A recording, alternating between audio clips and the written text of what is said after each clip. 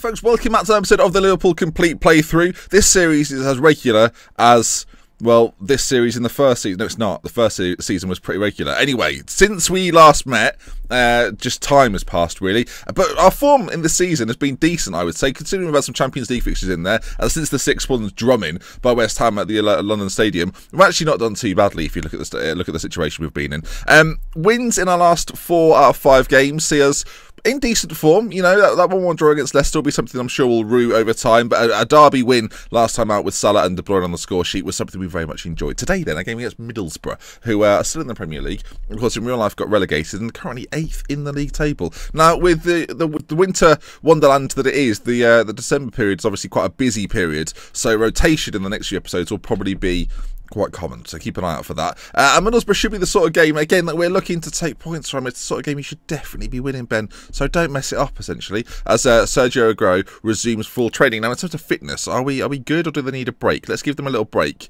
Uh, we'll give them probably just a day. I think a, day will probably do it. It's something that I, have done more and more uh, this year on Football Manager, not something I did in previous years. And there was no real reason for me not to do it in previous years. I just didn't realise just how much of an effect it had. But actually, resting players, I find, is is something that's made I would say be a better manager football manager this year, but certainly something it's, it's, a tip that I've picked up and I will now carry on through like future games and that's not something I was doing previously. So I think that that's like every year you try and pick up these little things that you do and then consistently do them. I think like knowing what to do for team talks and, and press conferences and knowing like the things to say are things you pick up over time. And I think now resting players when there's a gap of sort of two to three days uh, or at least not a week like if there's a week long break I don't find you need to rest players. But if there's anything less than that especially with Champions League stuff you may as well let the first team much much like in real life right? Players play a full match and then uh, have light training, less training, and then have like a session before a game day maybe, and then play the match. And that is essentially their their workout.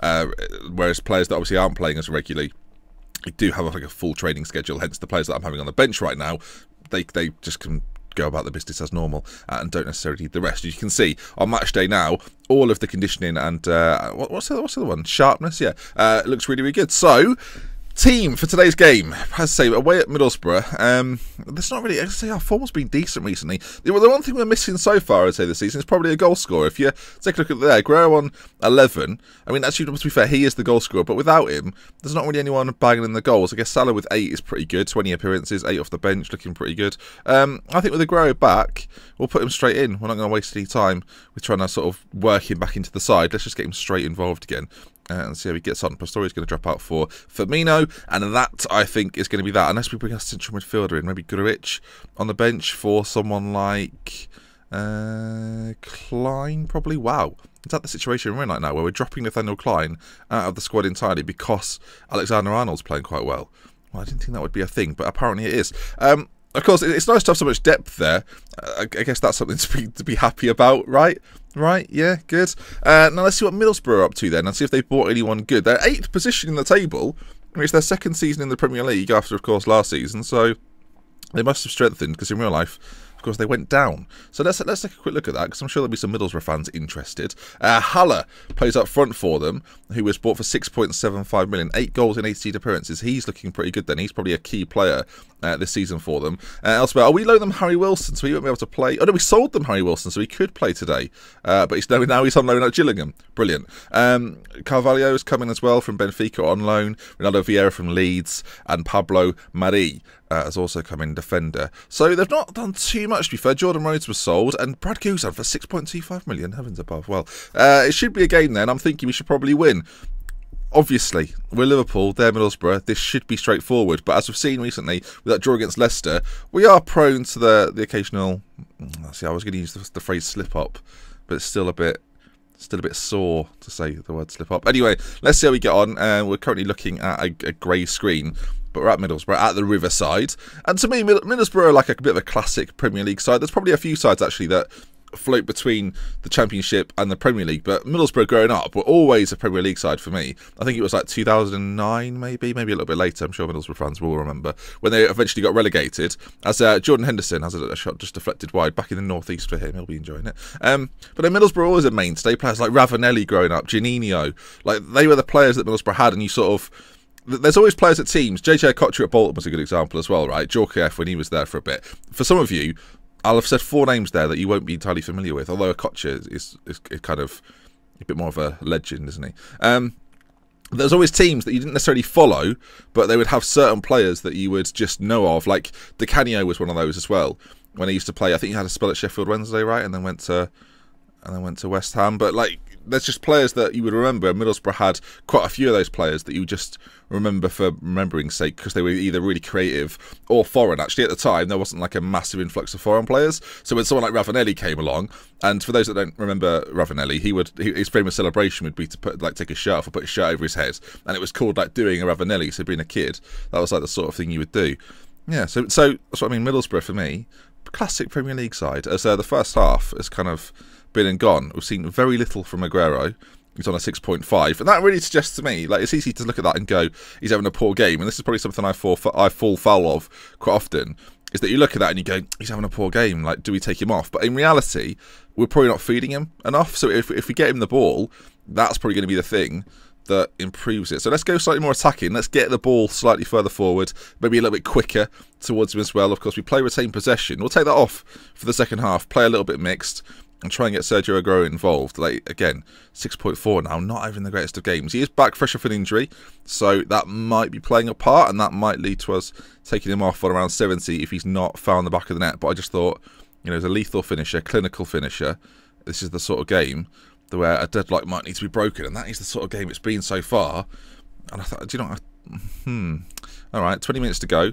Changes. I think we're going to bring on a couple of players then. We're going to bring on I think we're going to go for a triple change. Grujic is going to come in the centre to play alongside Henderson. Firmino is going to come back in for Aguero. Do you know, that's what we'll do for now. Lallana for De Bruyne is tempting, but we'll leave it as is. We are more dominant in the game. Uh, we'll be slightly less fluid, so we'll try and work the ball a little bit quicker again. And uh, Salah apparently has picked up an injury with 10 minutes to go. There's a highlight as well. Let's get Lallana on for Salah and go back to this highlight and see if it's in our favour. It is. Grujic has got it a little bit deeper, plays it forward uh, in the gap towards Williams. He puts the ball back across, and Salah, when he's at the bar, I mean, it said he should be taken off. That was my instructions from my assistant. He's struggling a little bit, not having the greatest of games, so maybe that late change might just do the trick. But so far, even Steven game, and, and occasionally in this series we do have quite dull games. Not that many nil-nils, though, I wouldn't say. Uh, throughout the series, I think most games there's at least been a goal. Sometimes there's a very late goal that we see, and this might be one of those games. Again, not much action going on, and it looks as if with this final corner of the piece, unless it goes in, Lallana to the front post, out to De Bruyne. We're going to get one more opportunity, you sense, to put the ball into the middle. As De Bruyne goes backwards, the ball in is really poor, and uh, Van Dijk's actually been given offside. Of course, may well have signed for Liverpool by the time you see this. Um, hopefully he has. I, I literally can't predict the future, so I don't know. Uh, so there we are, the nil-nil away clean sheet. I mean, that's the that's the positive to take from it. But apart from that, I mean, I'm going to get slightly aggressive with them. That wasn't good enough. This is not the sort of game we can afford to be dropping points in. It's sort of a must-win in that regard. Our goal difference as well, 25 conceded, so a clean sheet is almost a luxury for us. Uh, Salah's injured as well. He's out for four to seven days, so I'll miss the next game. And uh, how is our squad looking as we go into the next one then? Keita is still out as well for two weeks, so he won't be back just yet. We're getting close to a January transfer window. We've got 12 million in the bank. It is going to be the sort of scenario that if we're going to really improve, we're probably going to have to sell. I think Nainggolan back into the side might be key as well. Uh, we've rested him for a few games, and Emre Can might have to step out, uh, and Nainggolan may well replace him. So that ends it there then. A nil-nil draw. Admittedly, not the most exciting episode, but I got to chat about Rav- uh, Fabrizio Ravanelli for a little bit, so that was nice. Uh, again, shout out to Giannini. I don't want him to feel left out. Um, but we stay in fifth position then, and the league title is becoming very difficult to get. Although, actually, when I look at this, United dropped points. They did. They dropped points to Newcastle. So the gap didn't widen quite as much as it could have. Still eight points in it.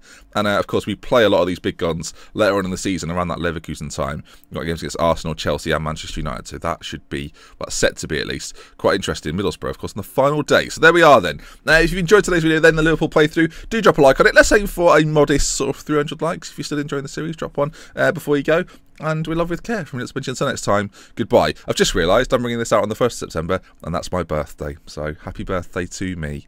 Happy birthday to. And the video, Ben.